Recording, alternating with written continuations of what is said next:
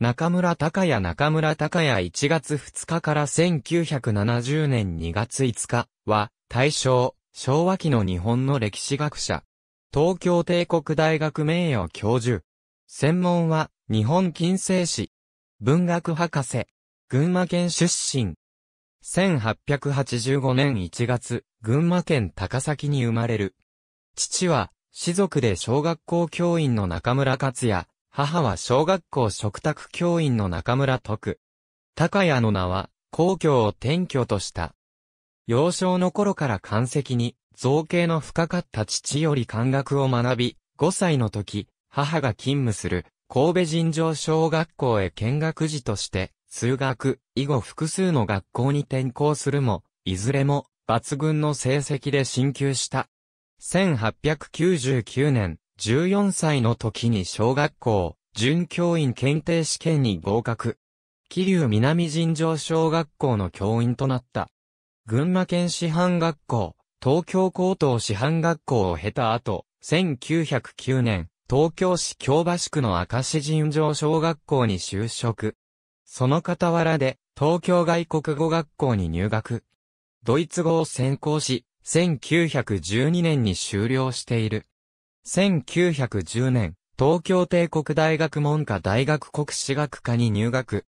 勉学に励み、特待生に選ばれる一方、明治中学校の講師や家庭教師などで、忙しい毎日を過ごした。1913年に、東京帝国大学文科大学国史学科を卒業。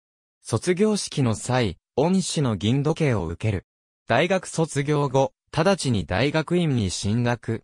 大学院では、指導教官三上三次の下で、江戸時代の文化史を専攻した。大学院在学中に、文科大学卒業論文をまとめた、江戸幕府鎖国史論や、一般向けに表した、元九郎義経を出版。また、指導教官の三上三次からも、数多くの仕事が与えられ、静岡県教育会から移植された、徳川家康の電気編纂や、徳川300年祭記念事業の研究者を移植された。これが、後年発表する、徳川家康文書の研究の基礎となった。1918年に、東京帝国大学大学院を修了した後、第一高等学校や日本女子大学などで教鞭を振る一方、東京帝国大学経済学部に入学し、経済学を学んだ。そして、1924年に文学博士学位請求論文である元禄及び教法時代における経済思想の研究を東京帝国大学に提出。美濃市原稿2500枚の大著であった。その後、1926年に文学博士の学位を取得。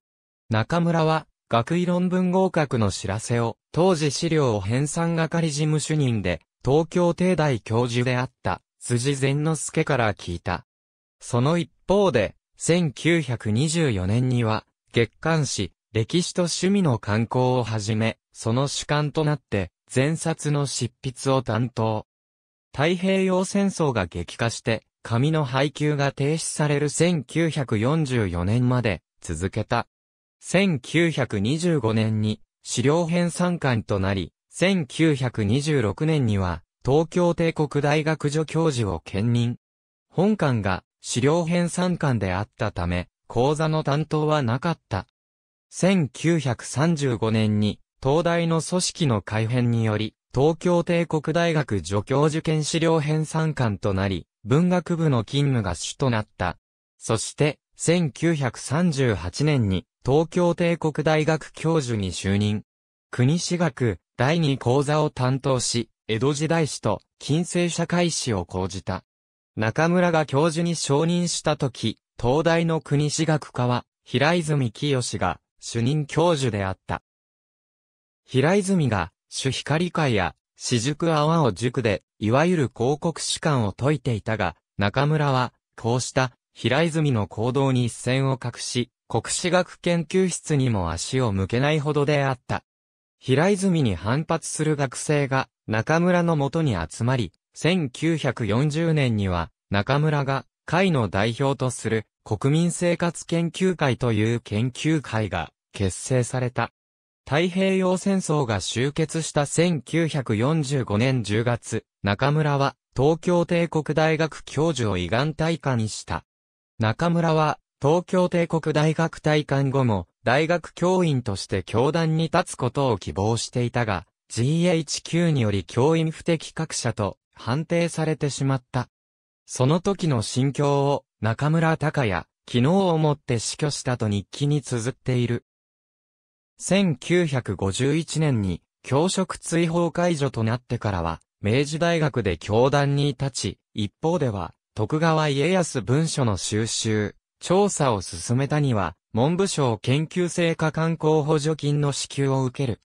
その成果が、大著、徳川家康文書の研究にまとめられ、これは、戦国大名発給文書に関する研究の先駆として評価されており、1962年には日本学士院賞を受けた。明治大学退職後の1960年に雑誌、歴史と趣味を年4回の機関誌として復活。1968年まで続けられた。